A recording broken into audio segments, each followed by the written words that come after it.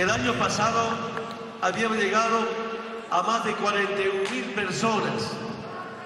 Aquí el hermano dirigente tiene una tarea de seguir informándonos dónde están hermanas y hermanos con discapacidad grave y muy grave.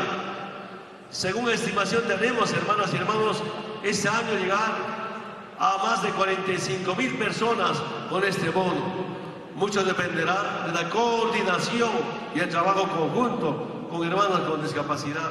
Hay que dotarnos de infraestructura como centro de albergue, pero también como centro de rehabilitación, con campos deportivos, tal vez alguna gimnasia para poder mejorar la situación social del sector con discapacidad.